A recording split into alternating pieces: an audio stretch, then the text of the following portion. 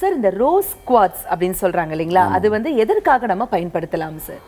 அதான் பார்த்தீங்கன்னா அந்த ரோஸ் குவாட்ஸ் வந்து ஒரு ஒரு அற்புதமான ஒரு விஷயம் அது. ஹீலஸ் அதான் ஹீல் பண்ணுறவங்க வந்து அதை கையில் வச்சுட்டு ஹீல் பண்ணுவாங்க. ஒரு கையில் அந்த ரோஸ் குவாட்ஸ் வச்சுக்கிட்டு பிரபஞ்ச சக்தியை முழுக்க இழுத்து இந்த கையால் வந்து ஹீல் பண்ணுவாங்க.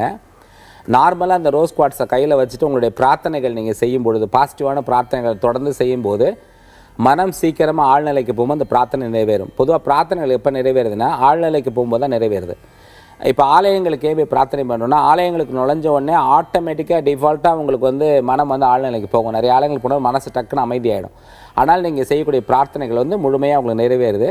ஸோ இந்த ரோஸ் குவாட்ஸுங்கிறது ஒரு அற்புதமான விஷயம். வீட்டில் அது இருந்தாவே ஃபுல் பாசிட்டிவ் எனர்ஜி அதை முறையாக ஜெபம் பண்ணி வச்சுட்டு நீங்கள் என்ன விதமான பிரார்த்தனைகள் செஞ்சாலும் அந்த ரோஸ் குவாட்ஸ் வந்து உங்களுக்கு நிறைவேற்றி கொடுக்கும். அது ஒரு கடவுளின் ஒரு ஒரு மிகப்பெரிய சக்தின்னு அதை சொல்லலாம் ஆக்சுவலாக பார்த்தீங்கன்னா.